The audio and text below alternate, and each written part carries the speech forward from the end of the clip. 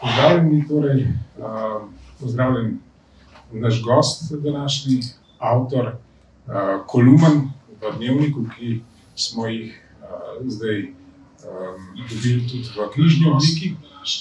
Avtor, današnji avtor kolumn. Okay. Skratka, um, knjiga ima naslov Stopinja upora. Uh, Čisto na kratko o gospodu Petrovcu. Uh, Pripričan sem, da ga uh, vsaj do neke mere poznate. Uh, kriminolog in penolog. Danes sem šel prav uradno razlago tega, kaj je penologija, pogledati in piše, da je seveda vedel o izvrševanju kazenskih sankcij. Um, dve uvodni vprašanji imam pravzaprav. Prvo je, kak, kako izgleda dan, delovni dan kriminologa, penologa. Kriminologa čisto drugače kot penologa. Penologija je ena mlada veda, čisto po domače povedano. Kdor je penolog, se ukvarja z zapori, največ zapori, bolj kot s čimerkoli drugim. In uh, jaz sem imel pač to izkušnjo, da sem najprej od blizu videl, kako se stvari odvijajo in kakšne stvari se dogajajo v zaporih. Uh, tako da sem potem prešel kasneje na teorijo. Penologija pa je pravzaprav veda, ki izvira iz kriminologije, ki je tako široko polje s temi različnimi vejami, in ena mlajših je tudi penologija. Uh, je pa res, da če me predstavljajo kot penologa, uh, tako kot je kolega rekel, moram iti pogledati definicijo, zakaj gre. Večina ne ve, ker penolog pravzaprav niti ni kakšen poklic. Medtem kriminologija je kljub samo že desetletja uveljavljena uh, veda, ki se ukvarja z zločinom, poenostavljeno povedano, in s tem, kako ga bi preprečevali. Penologija se pa ukvarja predvsem s tem, jaz ti rečem, zadnje poglavje kazenskega prava, kaj narediti z ljudmi, potem ko pristanejo v neki inštituciji, praviloma je to zapor. A se da z njih kaj narediti, a smo dolžni kaj početi z njimi, ali nam je celo omejeno, da bi karkoli pomembnega počeli. To so vse neka temeljna vprašanja penologije. Pa ste delali v zaporu, oziroma to, to pomeni, da uh, tudi povedali ste, da ste videli stvari, seveda, od blizu. Ja, jaz sem prvih deset let delal na pravosodju, na ministrstvu za pravosodje, uh, v tako imenovanem oddelku za izvrševanje kazenskih sankcij. To je bil uh, zaporska administracija, bi rekli, danes poenostavljeno. Potem sem si pa lahko izbral zapor, ki je bil seveda naš eksperimentalni zapor, in sem potem drugo desetletje preživel še v zaporu. In to je bil uh, zapor za ženske na Igu, ki je bil pravzaprav modelni zapor za vso zahodno Evropo. Uh, če samo v dveh stavkih povem, uspeli smo odpreti zapor za 90% vseh obsojenk, kar pomeni, da so vsak vikend preživljali doma, ne da bi bilo to zlorabljeno, in ne glede na kaznivo dejanje in dolžino kazni. Potem je seveda takoj padel očitek tistih, ki so nam zavidali ta eksperiment, da z ženskami lahko. V odgovor so najprej ženske same rekle, z nami je bistveno težje kot z moškimi. In drugi odgovor smo našli sami, ko smo to metodo dela prenesli tudi v nekaj moških zaporov, in je nekje ravno tako uspelo kot pri ženskah. Um, pokazalo se je pa, da je odpiranje zapora, pa neka humanizacija, daleč najbolj odvisna od osebja, ne pa od tega, kakšne ljudi imaš v zaporu. Ja, en del vaših kolumn iz, izhaja prav iz vaše stroke, ne prav vse kolumne. Ne? Razporedila smo jih v sedem ali osem različnih kategorij. In ena od njih je tudi nacionalizem kot domoljubje. In tukaj notri imate en zelo simpatičen tekst fetišizacije slovenskega jezika kjer pišete o tem, da je v vaši družini jezik, slovenski jezik, svetinja. Um, in hkrati pa pogledate odnos oblasti do, um, do zakonodaje uh, v zvezi s prišleki, konkretno za zdravniki, od katerih se zahteva zelo visoka stopnja uh, slovenskega jezika, hkrati pa tisti, ki želijo uveljavljati te, um, te standarde, niti sami ne premorejo zadostne, spodobne stopne jezika. In uh, tukaj se mi je zdel zelo zanimiv kontrast. Pa bi vas vprašal, kaj vam pomeni jezik in tudi kaj vam pomeni pisanje. Um, jaz sem začel pisati zelo zgodaj in sem bolj ravno tako zgodaj nehal. Um, nekje sem tudi zapisal en delček svoje autobiografije, da sem se odločil tam pri enih petih, šestih letih, ko sem bil v zelo spodbudnem okolju. Uh, viškega faroža, ker so bili frančiškani, zelo izobraženi ljudje. Um, in tam sem se odločil dve stvari. Da bom napisal roman in da bom napisal opero. Za opero sem imel spodbudo dr. Francitu Ačku, doktor muzikologije, skladatelj, organist, pevc, vse, kar paši temu poklicu, partizan med drugim, talc, vse zadnji hip in rešil stejerskega voda. No in tej spodbudni druščini sem začel pisati najprej roman, na dveh, treh straneh sem se trudil. Potem sem pa zložil, najbrž pod vplivom dr. Ačka, ene tri akorde, sem jih izbral z njegovega klavira in to je bil začetek opere. In potem je tam pri šestih, sedmih letih to vse ugasnilo, do leta, kaj pa vem, kjer ga, recimo, do tega novega tisočletja, skoraj da. Doktorske dizertacije skoraj da ne štejem za knjižno delo, čeprav sem jo preoblikoval v knjigo Kazen brez zločina. Prvo tako delo, za katero bi rekel, da je pravo, je knjižica Nasilje pod masko, ki ima en tak zelo sluten naslov, izšla je leta 2015. Sanjal se mi o čem takem in verjamem, da nikomu med nami, da se danes gledamo praktično skozi maske. Pa tisto nasilje pod masko je pa prva stvar, ki jo jaz štejem kot neko pisanje. Potem pa še dve autobiografski knjižici, fanči iz psihiatrije in še hujše zgodbe. S tem sem spravil, oziroma penil na led velik del bralcev, ki so si predstavljali, da so to turobne zgodbe iz psihiatrije, v resnici gre pač za nekaj drugega. Gre za zbirko humoresk, sledila je potem še, sledila so pisma nigerijske vdove, to štejem tudi za en tak uh, poskus humoresk.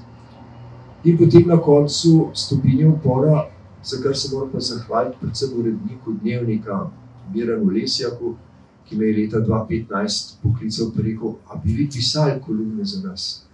Jaz najprej rekel, da to pa ne. Uh, kolumnist hitro pade v past, da je dežurni v svet, če mora vsake 14 dni nekaj obdelati.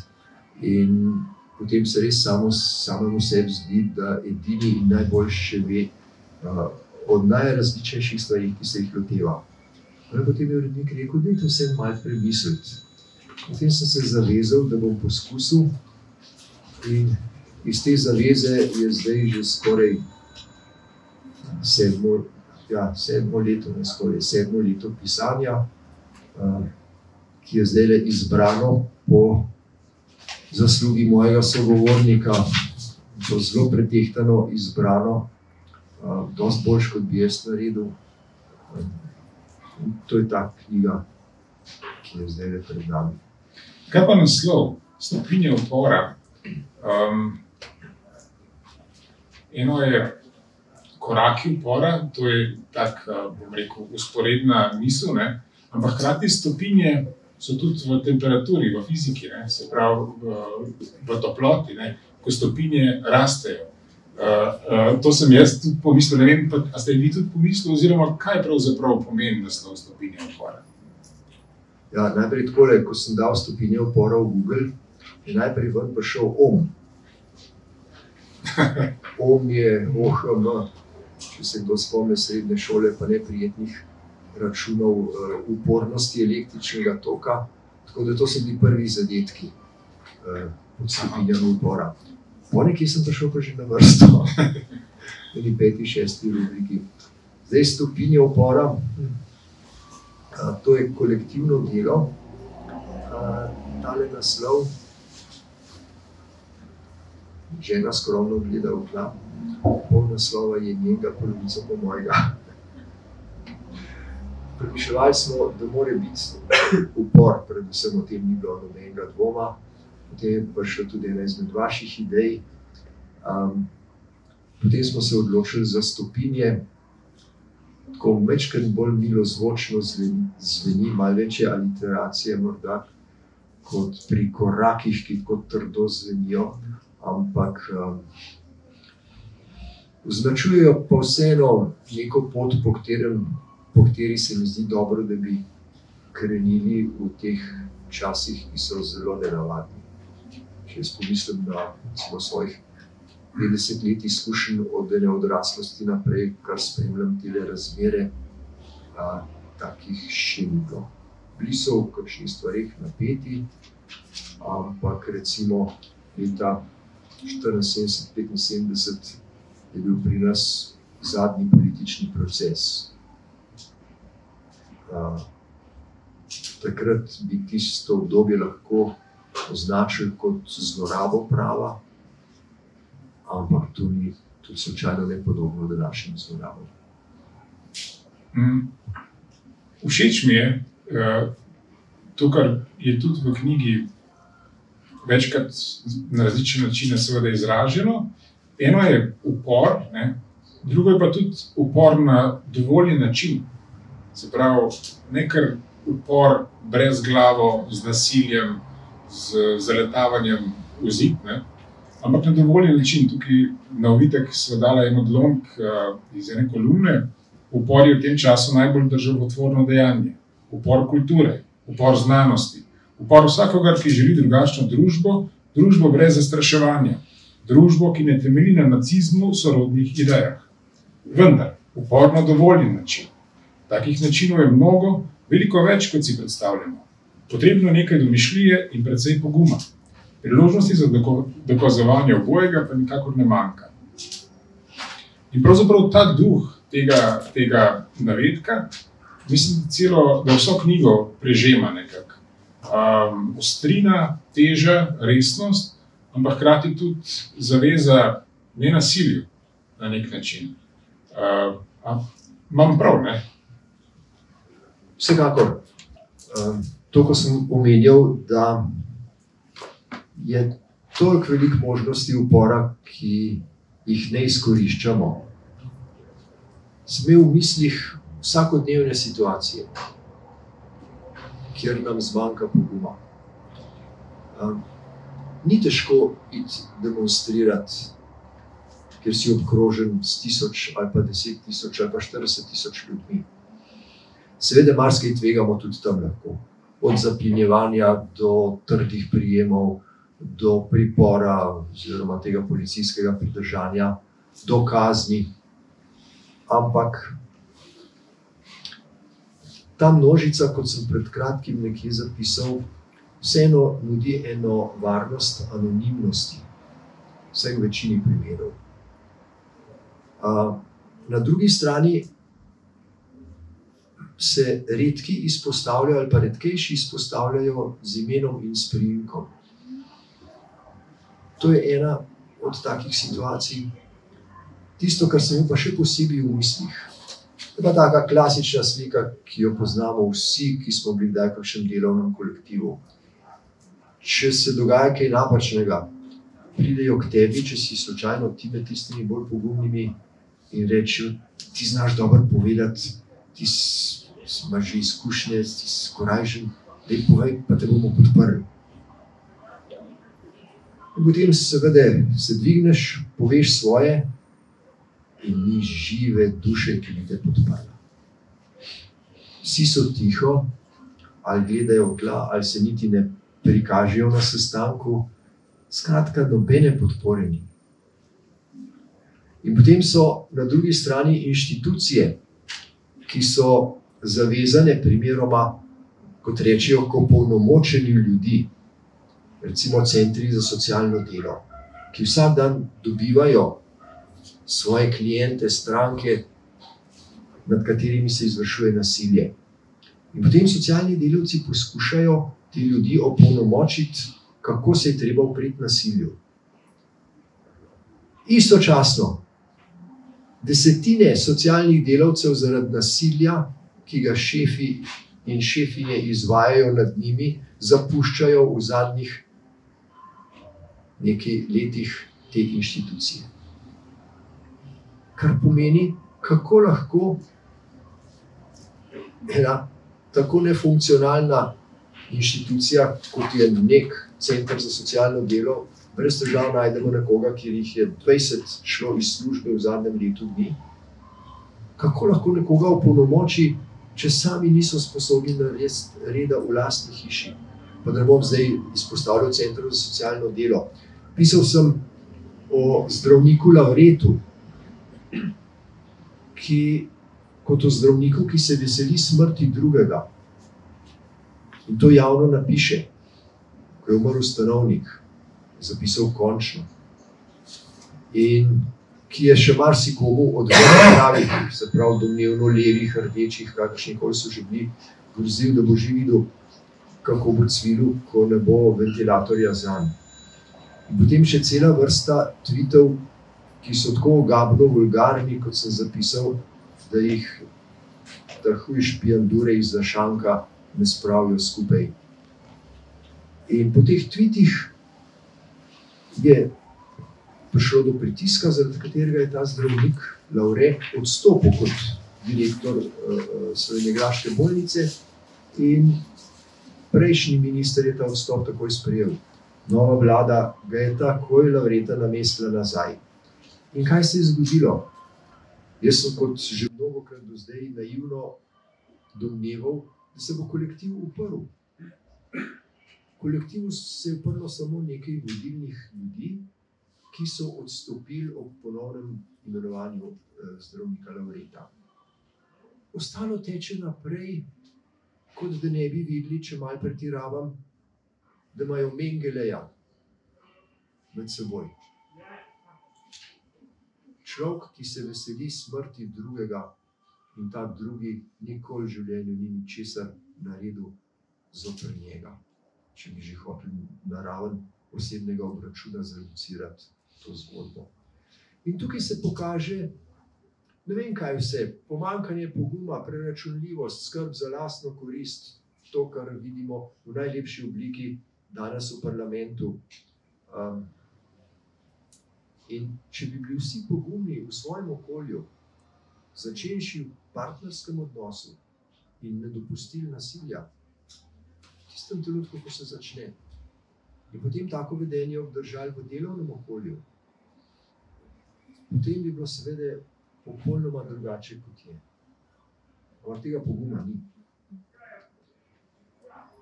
Povejte mi, kot kolumnist, um, zdaj to sedem let že, uh, katera kolumna ali dve sta mogoče dvignili najbolj, največ prahu?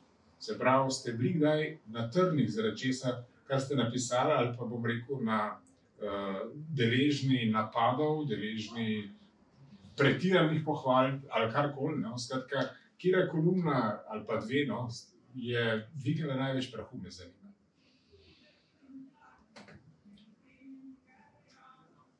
Za kolumne pravzaprav ne vem. Um, Včasih je bilo tako, da eh, človek, ki mu vedno godi, da ga pohvalijo, uh, odpre komentarje pod kakšnim zapisom. Zdaj so pa ti komentarji blokirani ali so pa težko dostopni. Vsej um, meni, ki sem precej zaostal s to tehnologijo, uh, jaz še do svojih kolumn ne morem dostopati preko računalnika. Um, tako da mislim, ne morem. Tisto, kar sem poskusil, tisto se ni obneslo. Naročniki samo, verjetno. Uh, najbrž samo naročniki, pa z nekimi gesli. Gesli, ja. tam sem bil pa neuspešen, kako koli že. Tako da uh, teh hval in kritik nikakor uh, ne prebiram, kar je po svoje dobro. Te ne zanese niti v višave, niti ne postaneš preveč depresiven. Um, sem pa tja, se oglasijo po določenih kolumnah, uh, bravci, in potem je tehnika taka, da urednik prepošlje pismo bravca meni, sem pa tja je kdo razburjen, uh, sem pa tja je kdo tako vesel kolumne, ampak bistveno bolj kot kolumne je pa odmevalo nekaj drugega in tam pa sploh nisem bil vajen neke take pozornosti. V začetku leta, 3. 4. januarja, sem imel intervju s Ksenijo Horvat. Takrat sem prvič čutil, kaj pomeni ta medijska pozornost, ker je tisto pa preseglo vsa pričakovanja. Ne bi preveč govoril, bom takoj nehal s to hvalo, ampak en teden sem porabil samo da sem vsak dan, praktično cel šiht, kot bi se rekel, odgovarjal na pisma.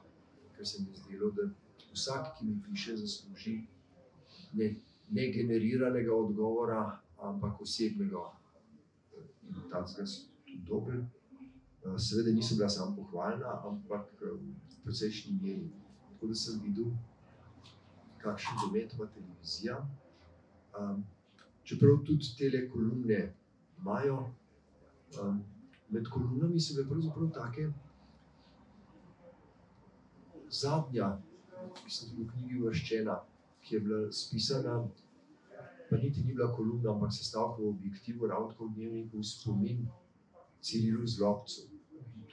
Ciril Zlobec je namreč živel tako kot moji starši v prej omenjenem faru Žunaviču in prvih deset let smo skupaj živeli.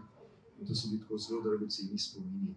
In na to, ta zapis civilu zlobcev, je bil pa verjetno največ takih dobrih, eh, relevantnih odzivov. Ja, vaše, kolumne so pravilno kolumnistične, bom rekel, so zelo raznovrstne. Ni to zdaj samo ena linija vsebinska, eh, ponekod ste zelo prva oseba in govorite o sebi, o svojih prednikih, o svojem življenju, odraščanju, sosedih, tako kot recimo uh, gospod Zlobec. Um, potem ukvarjate se z demokracijo, uh, z nacionalizmom, potem so tukaj cel sklop zelo temeljno takih človeških uh, kolumen o, o stiskah, vsakdanjih, um, o, o brezdomcih, o uh, ljudeh uh, s težavami z duševnim zdravjem in tako naprej. Um, potem nekatere kolumne so, se ukvarjajo s preteklostjo, pol preteklostjo, zgodovino. Uh, imate svoj pogled in je, in je dragocen. Uh, ni treba, da se v vsaki točki strinjamo, uh, ampak uh, gre za to, da nekdo artikulira stvari tako dobro, da pravzaprav lahko tudi mi premislimo o svojem stališču, to je tudi osnovna naloga kolumnista. Um, potem je pa tudi, seveda, v nekaterih kolumnah ste bili pa zelo uh, osebni v smislu osebnih napadov. Uh, na, naslov te rubrike ste dali ad, ad personam. Um, in tukaj se lotite Bavčarja, Tonina, um, že omenjenega zdravnika, pa uh, Boštjana, uh, tega Zopančiča. Ne. In uh, to se mi meni v osnovi, osnovi zdel najbolj šibek del uh, uh, vseh teh vaših kolumen, ampak ste mi zelo lepo tudi odvrnili, uh, zakaj se vam zdijo pomembne. Um, zakaj ti osebni napadi, pravzaprav ti osebne sklicevanje na odgovornost, pozivanje na odgovornost, zakaj so tudi pomembne. Lahko še tukaj še enkrat nekako eh, pojasnite. Ja, uvodoma se popolnoma strinjam s to oceno, da je to šipkejši del uh, knjige, ker neka osebna obračunavanja. Zdaj bom več kritičen do neke druge knjige, ki sem jo imel pred kratkim v rokah. Um, in tisti knjižici slovenskega avtorja, avtorice, če ostanem neutralen pri spolu, spolu, spolu, se kadi od sovraštva čisto osebno usmerjenega in ni bilo simpatično branje. Potem sem se tudi zamislil večkrat nad tem svojim poglavjem, kjer je ne sedem, osem ljudi. Po drugi strani se mi je pa zazdelo, da določena dejanja zaslužijo odziv. In tudi nekorektno bi se mi zdelo, če bi zavil svoj odziv v nek celofan, da bi se potem bralci trudili razbrati, koga pravzaprav imam v mislih. Um, lahko bi bilo to tudi predmet nekega očitka, da nisi dovolj pogumen, pa da naravnost ne poveš, kdo ti je stopil na žulj, s kakšnim vedenjem. Uh, tako da tiste stvari, ki so se mi zdele najbolj zavržne uh, in ki so na nek način odmevale v našem prostoru. Marsikdo od teh, ki so se jih lotil, ima veliko prostora v medijih. Res, da nekateri med njimi, kar naravno spoje kot Boštjan Zupančič, v zmerom bolj obskurnih. Njegova pot, ki jo je prehodil od sodnika Evropskega sodišča kot ene najuglednejših funkcij, ki se jo lahko predstavljamo, do v resnici zakotnega televizijskega programa, ki je znan po uh, sejanju sovraštva, uh, rasizma in seksizma vseh vrst. Ta pot je naravnost tragična, ne samo žalostna. Um, ampak mislim, da je prav, da se določene stvari pokažejo tudi na ta način. Dosti dolgo časa, namreč marsikdo, če pustim BMZ ob strani, um, uživa naklonjenost medijev in tudi medijev, ki so rekel, ne, ne tako politično pristranski, ampak ki na nek mazohističen način uh, medij, ki ima v svojem naslovu žensko ime, je naravnost zaljubljen oziroma uredništvo v točno tiste moške, ki jih ponižujejo. In ima celo vrsto intervjujev pod neko znamko ekskluzivnosti in zanimivega sogovornika, in kar nekako ne prepoznajo, da jih ti sogovorniki teptajo in ponižujejo. Uh,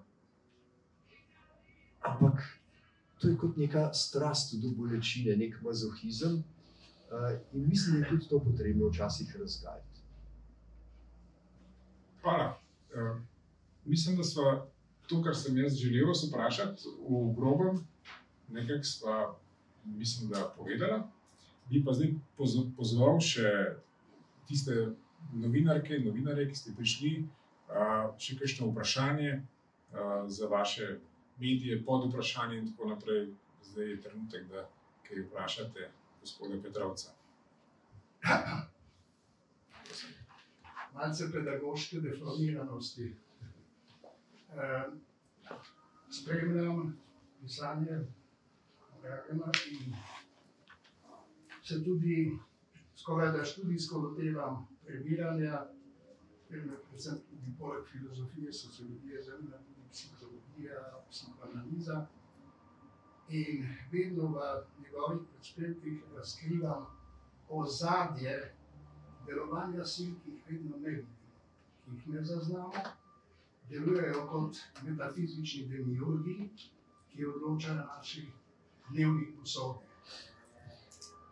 Drugo, kar me pri prebiranju tega spodbuja, je vedno to, da odkrivam iz njegovega pisanja v odnosih ljudi prisotnost tako imenovane dnevne patologije. In se sprašujem, prav to noč, ko sem se pripravljal malce, ali je v slovenskem narodu ena od identitet biti malce patološki, v vsakdanjem življenju, zato da se oziraš nekomu, ki je bolj kot ti patološki in v njem vidiš vodečega.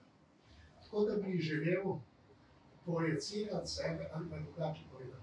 Nekdo, ki je tipično patološki, psihopat, sociopat, izraze pustimo ob strani, da se govori o motnjah, um, da ti ljudje zelo radi svoje manjke, pravi, manjke projicirajo v drugega človeka skozi sovražni govor. Pri tem pa mislim, da ne razmišljajo, ko jaz projiciram v drugega to, kar na meni moti. Da v bistvu, ko njega napadam na račun tega, kar sem projiciral vam, pozabljam, da napadam sebe. Da gre za to tako imenovano interakcijo neke odnosnosti, ki je za moje polne, polne bolnosti. In me res zanima, ali je res v slovenskem človeku, torej tudi v meni, nekaj tega, kot da bi želel biti na nek način moten, s tem, da potem kličem nekoga, ki mi bo gospodoval, uveljavljal svoj interes in zaradi mene, ne bo poslušal, kaj rečem, enostavno diktira, določa. Včasih se vprašam, ali bi jaz moral v parlament poslati vprašanje, kakšen korak naj storim, da bo vladajoča gospodska zadovoljna s tem, kar bom naredil. Glede na to, da imamo v družbi kritiškega misleca, sem se spomnil tudi znane Hitlerjeve misli, ki je rekel: Blago oblastnikom v družbah, kjer ljudje ne razmišljajo. In to avtorefleksijo razmišljanja pogrešamo v našem prostoru na splošno. Zdaj sem si tudi zapisal, ne samo, da gre za pogum, ampak da sem jaz pogumen tudi do samega sebe. Ne samo v odnosu do drugega. Ali sem pogumen do svojih nečesa ravnanj, da jih bom odstranil, ker ugotovim, da to ni prav. No, tam ste še v stopinjah se pogovarjali da sem se spomnil na besedo pedi, pet, ne, kratek korak, ne, in to. Ja, to mimo glede, Hvala, ja. v razmišljanju tu. Ja, uh, vi ste podali že kar veliko odgovorov na neka vprašanja, na, na katere jaz nimam, nimam uh, jasne slike. Uh, lahko samo ilustriram s kakšnimi stvarmi, na katere sem naletel. Trstenjak piše o slovenskem narodnem značaju in nekje piše, da je to pravzaprav neka tako tvegana ocena, kar tako lepo sploševati.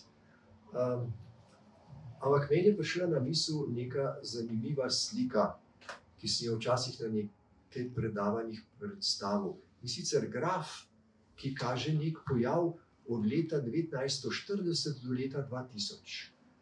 In potem je tako, če bi poskušal narediti leto 40, nekje pri ničli, potem pa med letom 41 in 42 poskoči za 800 odstotkov, in potem proti letu 44 spet pade navzdol, in potem je spet pri ničli, tja do leta 2000, pa še nekaj.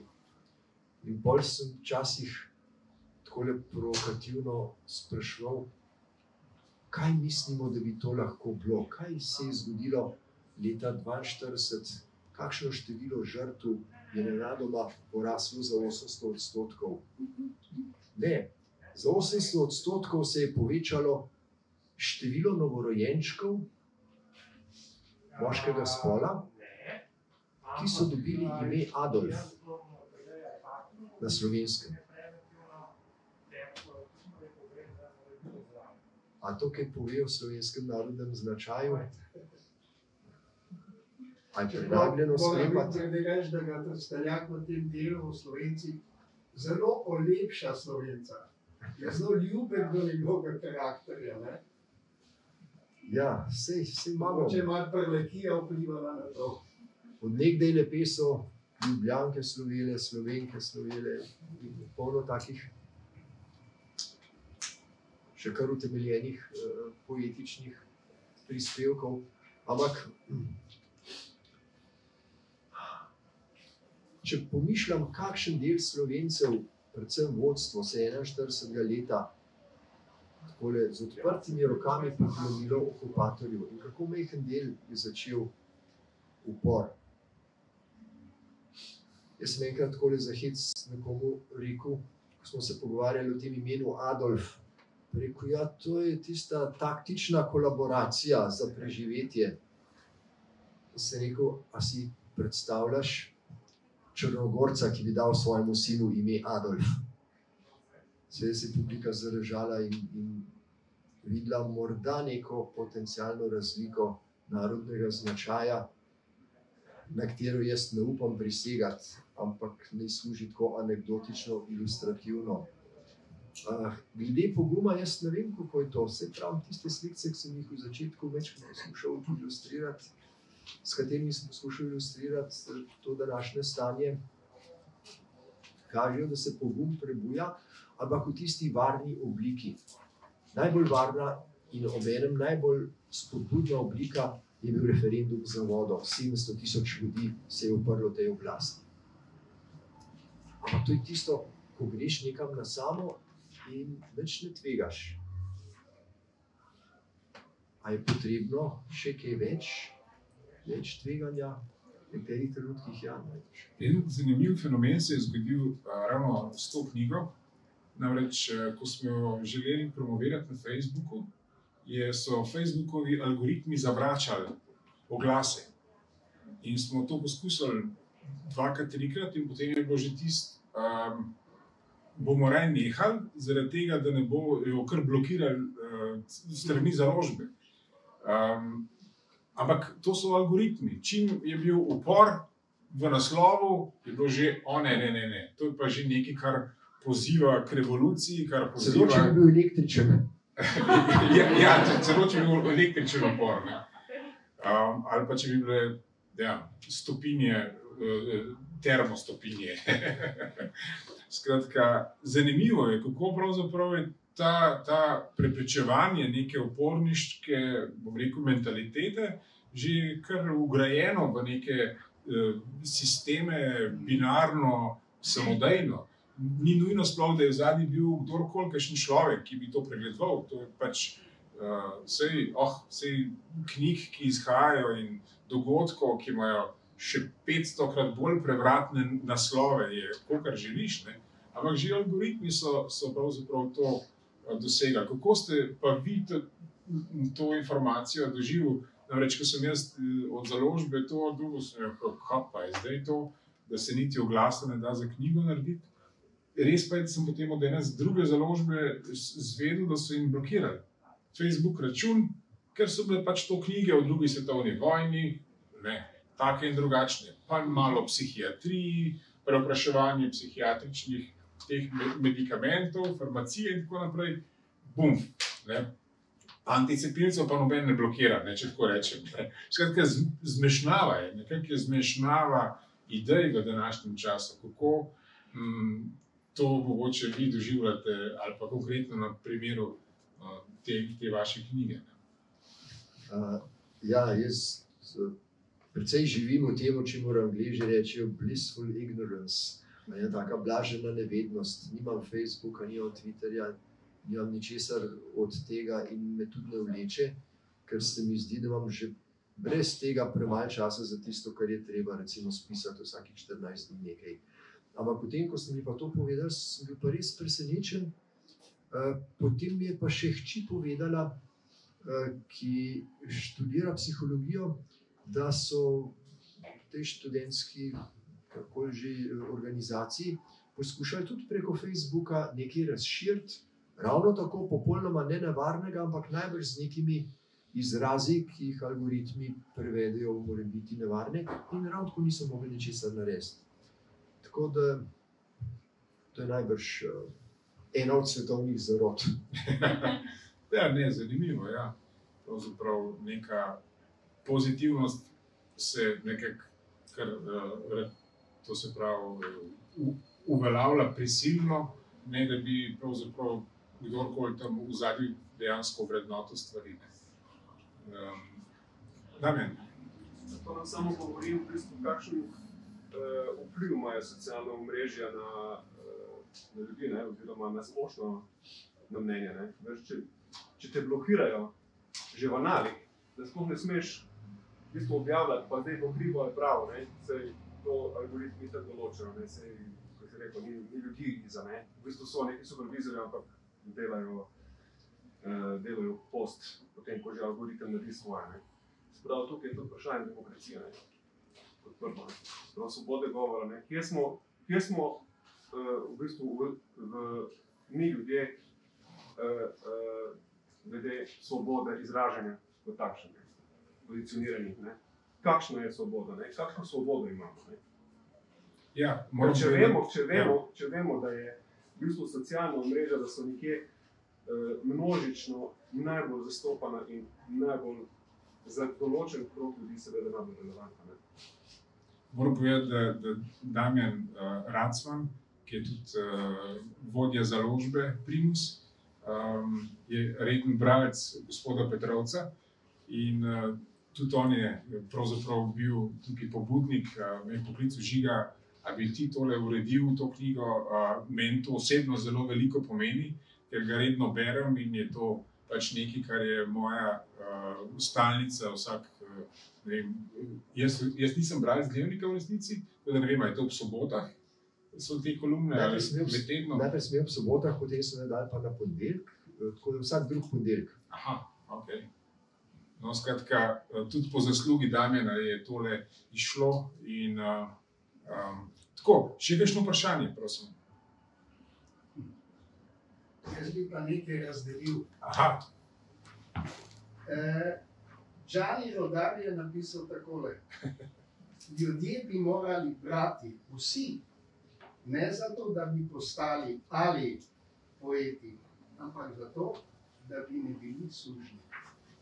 Hvala lepa. Samo ste okrog dali vsakom. Aha, da bomo dobili. Ok. Hvala. A lahko še en greh storim? No, pa dajte še en greh. Dragi Petrovec.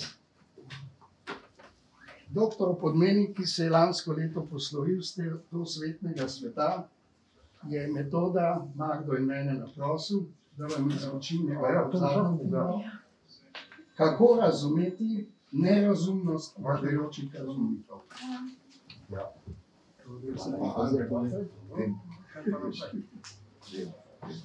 No, in ker smo v letu COVID-a se začeli spraševati, kdo smo, kdo sem, kdo je še naša regija.